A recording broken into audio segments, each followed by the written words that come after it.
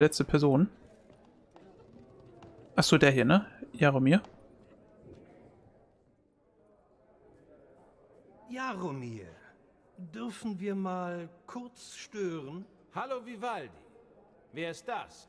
Gerald von Riva, Hexer. Ich dachte, dir wäre vielleicht nach einem Schwatz über die Bilder, die heute verhökert werden. Hm? Ah, sind wir also auf Profitpirsch, wie immer. Wirf du mal mit deinen Steinen. Du lebst von deinem Gemäldehandel auch nicht übel, mein Freund. Stimmt. Aber sie erfreuen meine Augen, während sie für dich nur Wechsel sind. Du interessierst dich nur für kulinarische Künste. Und du, Hexer? Weißt du irgendwas über Gemälde? Mag angesichts meiner rohen Visage unglaubwürdig sein, aber ein bisschen was weiß ich. Wirklich? Mal sehen, was.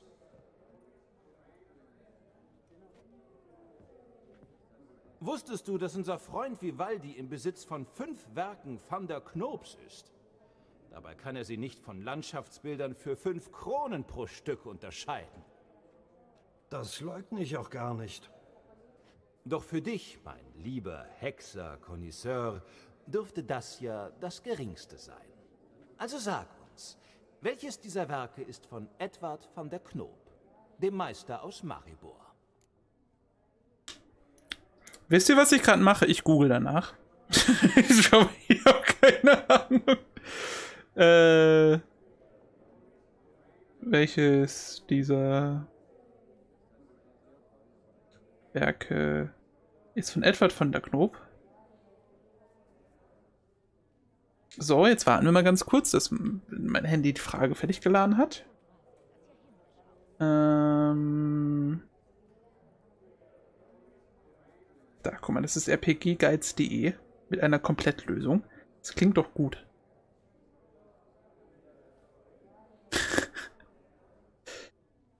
so. Treffen, Hilbert, da. Das Kaufmannsporträt nennen müsst. Das Kaufmannsporträt.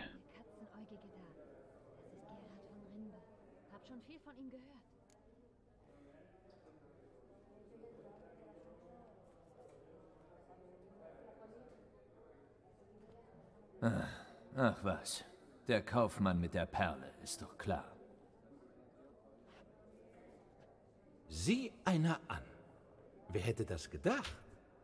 Hm, auf ein Wort unter vier Augen.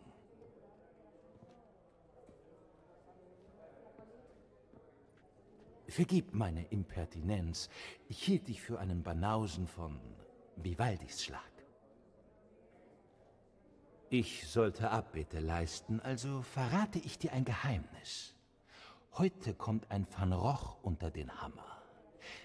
Der Maler ist weitgehend unbekannt, hat aber in Markus Hodgson, dem Buchverkäufer am Novigrader Marktplatz, einen großen Bewunderer.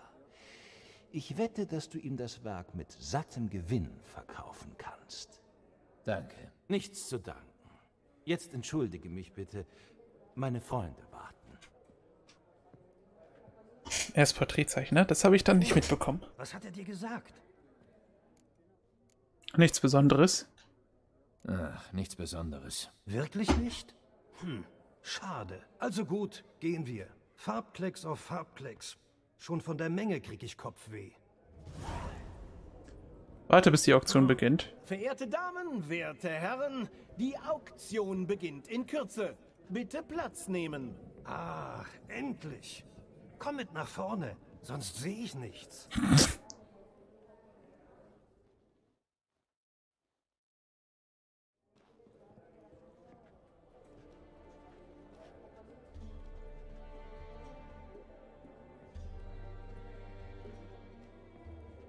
Wimme, hör mal. Ich habe vergessen, dich zu fragen, wie die Auktion abläuft. Sie bringen drei Objekte raus. Wenn die verkauft oder nicht verkauft sind, gibt es eine Pause. Dann taucht Borso die hoffentlich auf und ich stelle euch vor. Ich verlasse mich drauf. Und bis dahin, hast du ein Budget? Willst du mitbieten? Äh, mach ich. Natürlich. Jetzt habe ich mich schon hier reingeplagt. Da werde ich es doch mal ausprobieren. Ha! Ich wusste, der Funke springt über. Geschätztes Publikum, willkommen zurück. Hiermit erkläre ich die Auktion für eröffnet. Meine Damen und Herren, Objekt Nummer 1 ist eine Messingfigur aus der Sammlung des berüchtigten Grafen Romilly. Angeblich soll im Inneren der Figur ein Schatz verborgen sein. Ein Gerücht, das sich nur durch das Zerstören des wunderbaren Kunstwerks überprüfen lässt. Eröffnungspreis 50 Kronen. Ein echtes Schnäppchen. Wer bietet zuerst? Meister Hilbert bietet 100. Gräfin Mignole bietet 150. Höre ich 200? Wer möchte bieten?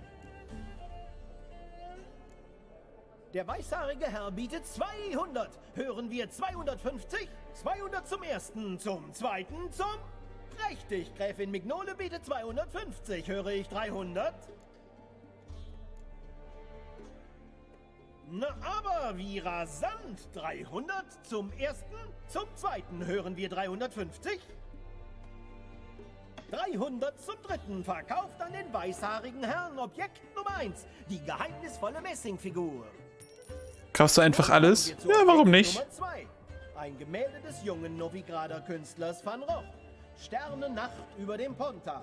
Ein charmantes Werk. Eröffnungspreis 20 Kronen. 20 Kronen, wertes Publikum. Das ist praktisch geschenkt. Ja, der Herr mit den Katzenaugen bietet 20. Höre ich 30? 20 zum ersten, zum zweiten, zum dritten. Verkauft! Sternennacht über dem Ponta von Van Roch geht an den Herrn mit den Katzenaugen. Objekt Nummer 3, Damen und Herren, eine Rarität. Selten wie ein Hühnerzahn. Eine Brille. Mit Goldrahmen und Bergkristalllinsen, gefertigt von den kundigen Fingern der Gnomenmeister. Einst Eigentum des berüchtigten Auftragsmörders, der als der Professor bekannt wurde. Eröffnungspreis 200 Kronen. Wer bietet mehr? Gewinnt Meister Hilbert bietet 250. Höre ich drei? Ja, so soll es sein. 300 von Jaromir Ivanovich Zaitsev. Zum ersten, zum zweiten. Unglaublich! Mit dem weißhaarigen Herrn sind wir jetzt bei 350 Kronen. Großzügiges Angebot, wirklich. Gibt es noch Gebote? 350 zum ersten, zum zweiten. Verkauft! Die unschätzbare Brille geht an den weißhaarigen Herrn.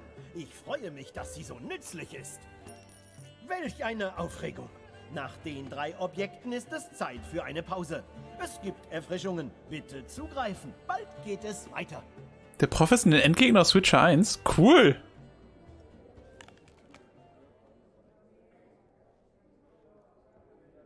Oh. Oh, Gerald, schau! Horst Borsody. Schnell, ehe die anderen Schwanzlutscher in sich grapschen. Nur erwarte kein herzliches Willkommen. Geralt, please. Grüß dich, Horst. Gestatte mir, dir einen lieben Freund und Partner vorzustellen. Gerald von Riva, der... nicht eingeladen ist. Das mag sein, du hast mir für den. Wo sind meine Manieren? Wo habe ich nur meine Manieren? In Kermorhen rangiert Etikette nicht allzu weit oben auf dem Curriculum. Skandalös. Das ist offenkundig. Ich habe das nagende Gefühl, dass ihr zwei einen schlechten Start hattet. Vielleicht sollten wir trinken auf... Was will deinesgleichen von mir? So wird das nichts, kann ich mit einem anderen Borsodi reden. Auktionshaus der Borsodis. Die Mehrzahl in dem Namen ist doch kein Zufall. Hast du einen Verwandten, mit dem ich reden kann? Einen, der, nun, nicht ganz so ätzend ist wie du? Der Name ist historisch, Gerald. Das Auktionshaus wurde von zwei Brüdern gegründet. Horsts Vater und seinem Onkel. In dieser Generation... Es gibt mich und nur mich. Kommt zur Sache, sofort. Schön, sparen wir uns die Floskeln. Maximilian Borsodis Haus. Ich muss es finden, was immer es... Was? Wie hast du davon erfahren? Meine Herren, kein Grund, die Kontenance zu verlieren. Bitte, beruhigen Sie sich. Ich fragte, wie hast du davon erfahren? Boah, ganz ruhig. Wo? Mm, erzählen wir mal die Wahrheit. Von Olgierd von Everek. Sagt dir das was? Tut es. Wache, bringt den Hexer raus und lasst ihn nicht mehr rein. Auch nicht mit Hierarch Hemmelfahrt persönlich. Wirklich? Er hat doch nur eine schlichte Frage gestellt. Noch ein Wort und ich verlege meine Konten zur Konkurrenz. Tut mir leid, Kumpel. Du musst die Wache nicht bemühen, Horst. Ich gehe freiwillig. Ich entsinne mich nicht, dir die Wahl gegeben zu haben. Befördert seinen mutierten Arsch raus.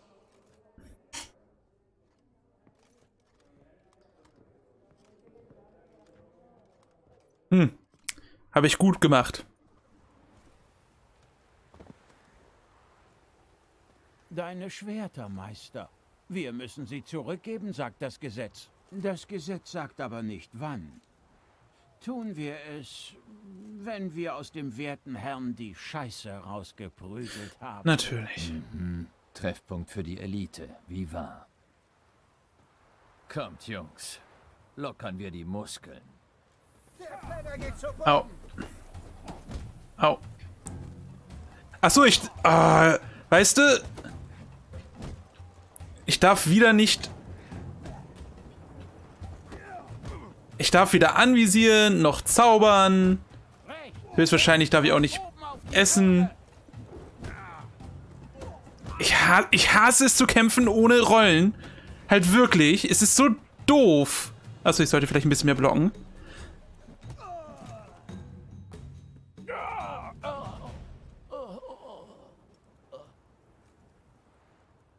Das Gesetz sagt, wenn jemand verletzt ist, hole einen Heilkundigen. Das Gesetz sagt aber nicht, wie schnell. Man kann ein Weilchen warten. Es stimmt, was man sagt. Schwert oder nicht. Ein Hexer weiß, wie man Knochen bricht. Ich bin nicht in der Stimmung für Bauernweisheiten. Wer zum Teufel bist du? Wenn alles gut geht, würde ich sagen, dein Partner. Ich brauche keinen Partner. Oh, da bin ich nicht so sicher. Alleine kriegst du Max Borsodis Haus niemals. Warum wollen die sich mit dir schlagen? Die müssen doch gehört haben, dass du der Fight Club Meister bist. Ich glaube nicht, dass sie viel gehört haben oder viel wissen. Und du kannst mir helfen. Wir können einander helfen. Komm zur Sache, wenn möglich. Um das Haus zu kriegen, musst du erst in die Schatzkammer gelangen. Und aus Freundlichkeit lässt Horst dich da niemals rein. Ein Raub? Diese Idee gefällt mir nicht. Hast du eine andere? Geh zum Kräuterkundler bei Ochsenfurt und frag nach Schafgarbenextrakt. Er wird wissen, warum du gekommen bist. Wenn das eine Falle ist. Bis dann. Hoffentlich.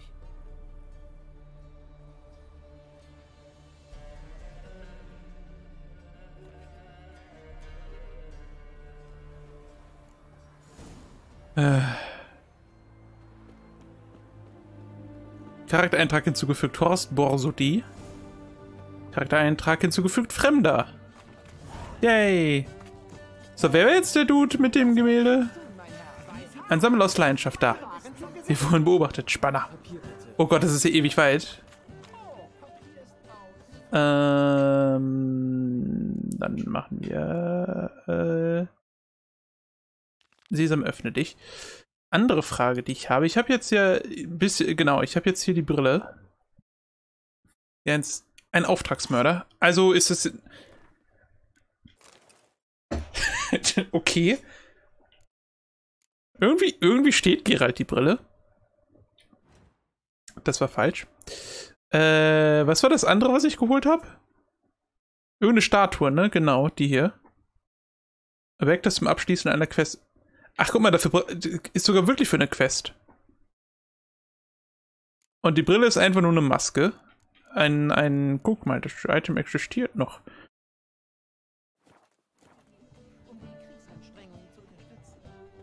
Die Brille steht Geralt halt wirklich.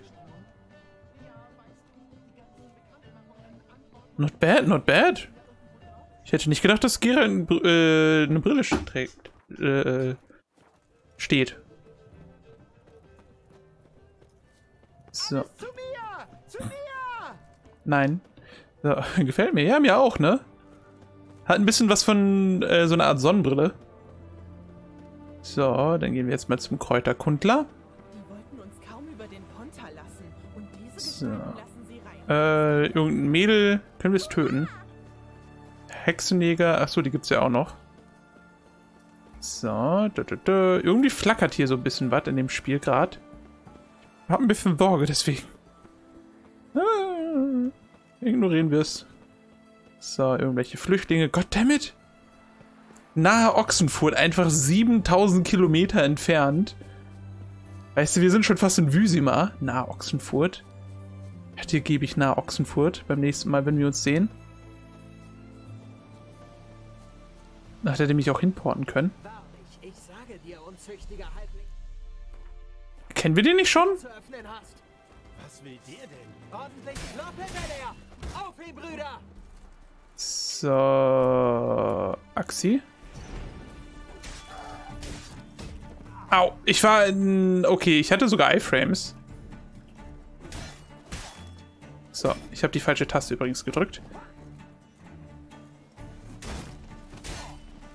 So.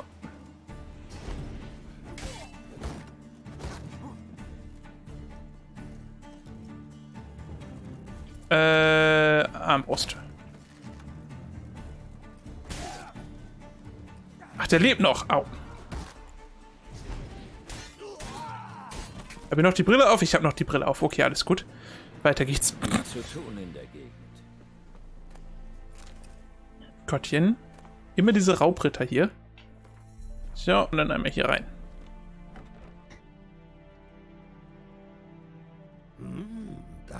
Recht effektiv. Mehr hast du nicht zu sagen? Ich habe dein Leben gerettet. Puh, dieses Gesindel hätten wir mit links erledigt. Wir? Mann, bist du pingelig. Du weißt, was ich meine. Willst du jetzt handeln oder nicht? Hast du vielleicht Schafgarbenextrakt? Hab ich. Hinten. Folge mir bitte. Jetzt kriege ich erstmal voll den fetten Hammer über den Schädel gezogen. Gute Nacht, Lunko. Vielen lieben Dank, dass du dabei warst. Ich wünsche einen guten Start in die, äh, guten Start in die nächste Woche. So, und dann einmal jetzt hier runter. Du, du, du. Das wäre schon das Schlimmste, was mir passieren kann. Alles gut ausgehen, ganz bestimmt. Da bist du. Gut. Abwarten. Du willst mir was sagen, nehme ich an. Also schieß los. Wie drücke ich es aus? Wir haben ein gemeinsames Ziel. Wir wollen beide etwas aus Borsodis Schatzkammer.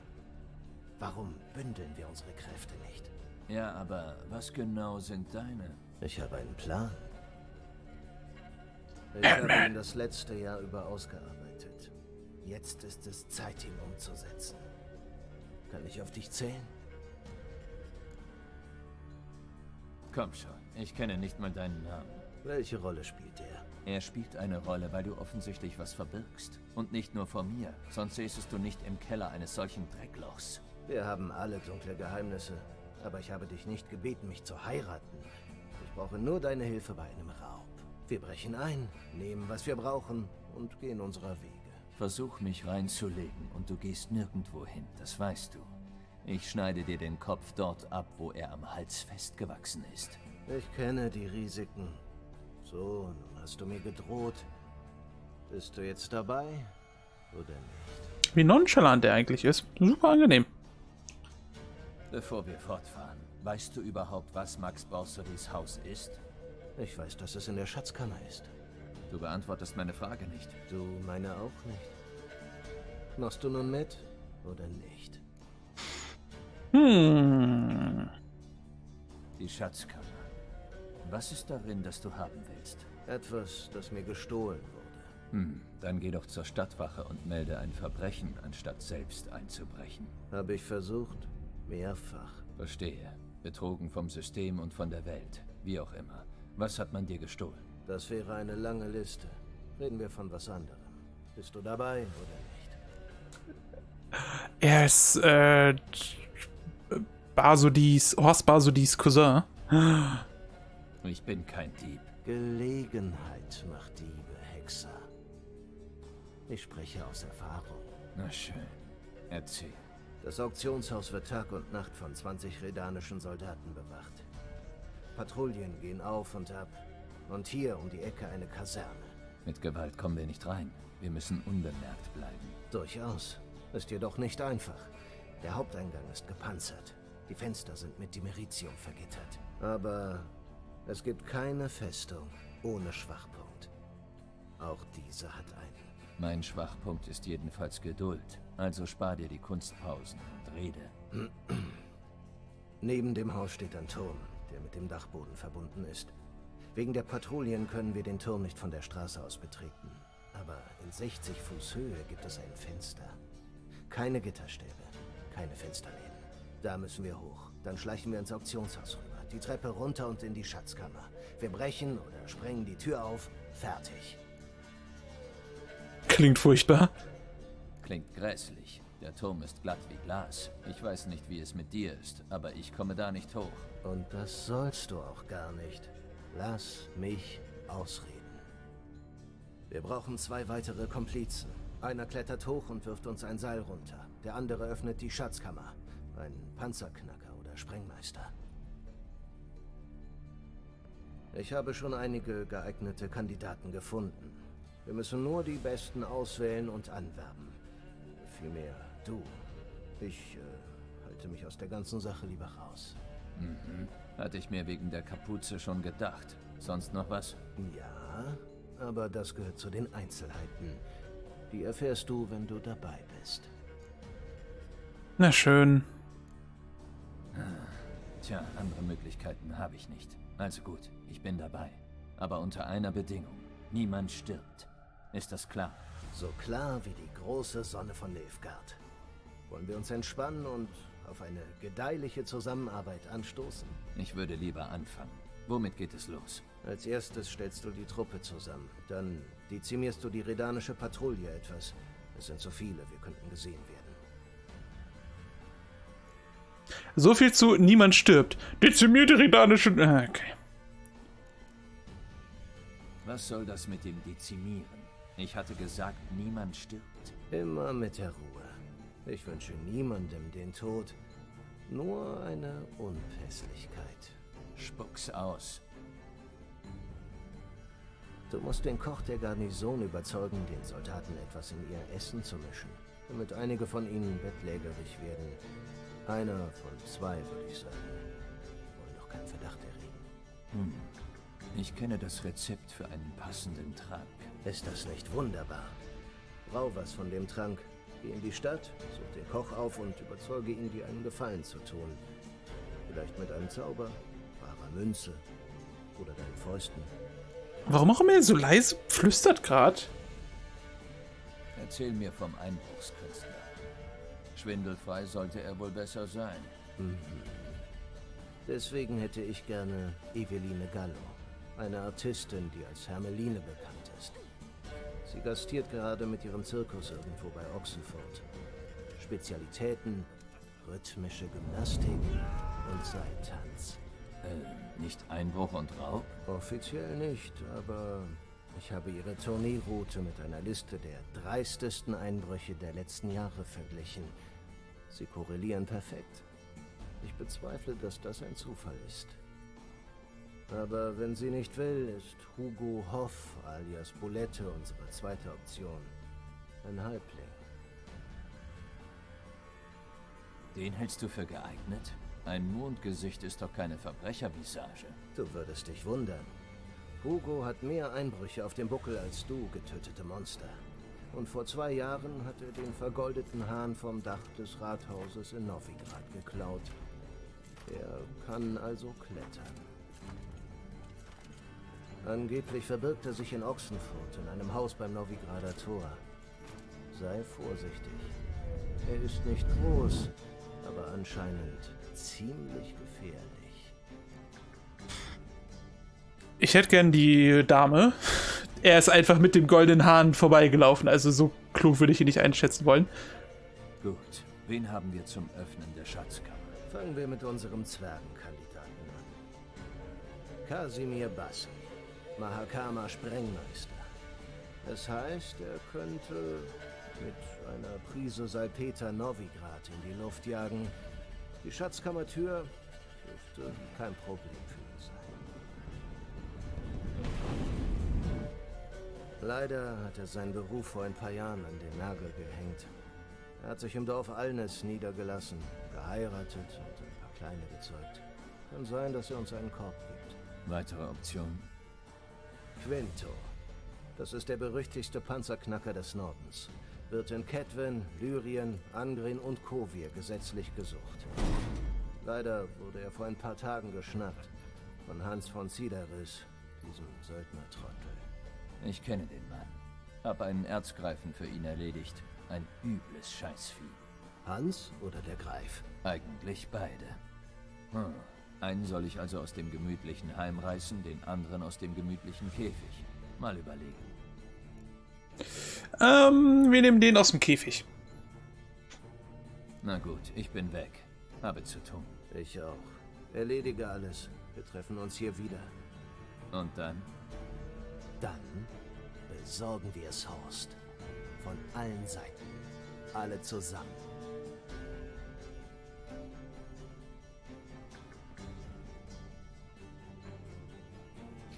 Das äh, machen wir.